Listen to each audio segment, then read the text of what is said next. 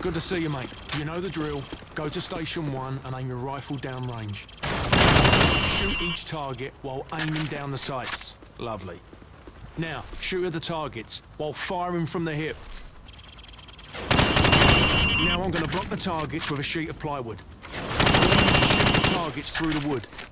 Good. Bullets will penetrate thin, weak materials like wood, plaster, and sheet metal. Now I'm going to make the targets pop up one at a time. Hit all of them as fast as you can.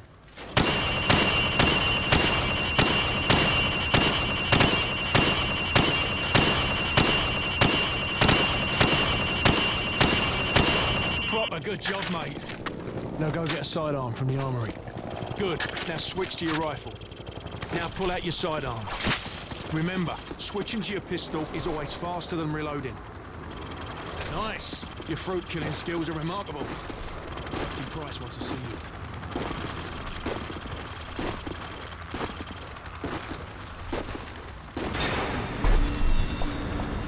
It's the FNG, sir.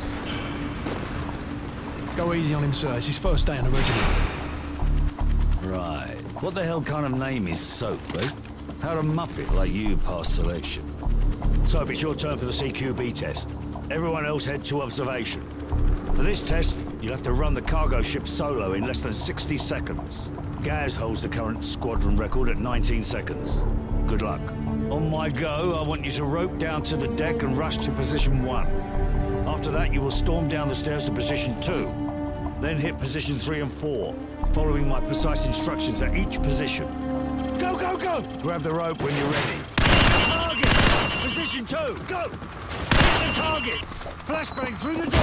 Position four! Hit the targets! Position five, go! Hit the targets!